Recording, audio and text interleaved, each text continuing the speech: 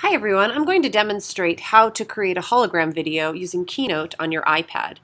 The first thing that you'll want to do is use the camera to record the video with a black background preferably and save it to your camera roll, which you can see that I've done here. Next we'll open up the Keynote app and you can definitely start with a blank presentation template. Um, I encourage you to use the standard sized black background theme.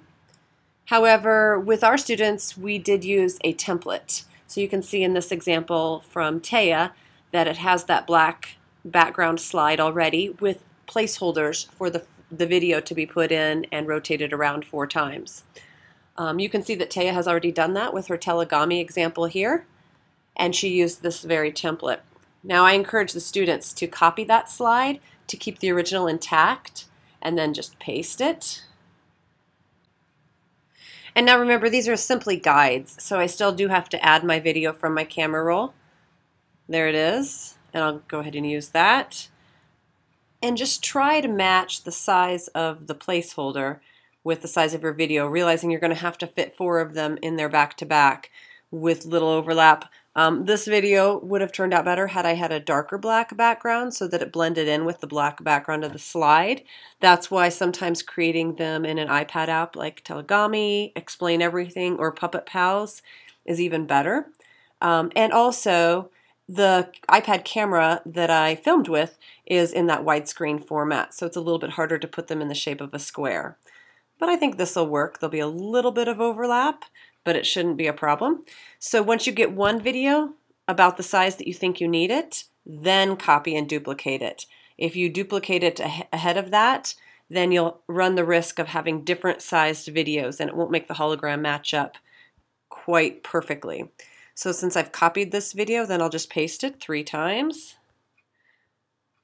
And to rotate a video on Keynote for the iPad, you literally just take your two fingers and twist the video trying to get the, the perfect dimensions. Here's the 90 degrees. Like I said, I can have a little overlap as long as my arms don't, you know, cross over into that area, it should be fine. If I happen to accidentally resize while I'm rotating, then I would just do a quick undo. I'd also recommend that you use the guides, those yellow lines that pop up in Keynote, to make sure that you have things lined up correctly. So there I can get a guide to show that it's all centered on one axis line. Okay, now if I were to hit play right now, what I would have is four independently playing videos. And I don't want that, so I need to animate this slide in order to get them all to play at the same exact time. So the first one is set to play on click, and that's fine, or on tap. But the second one, I will go into the animate and then hit my start movie and switch to the Options tab.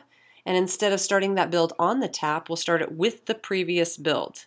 And from here I can just go to the next one and do the same thing. For the options, start it with the previous build.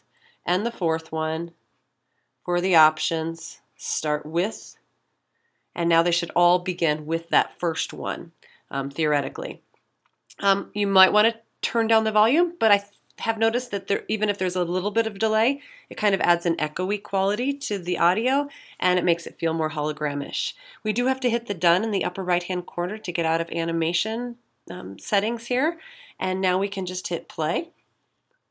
And if I tap once, it should start all four videos. There we go.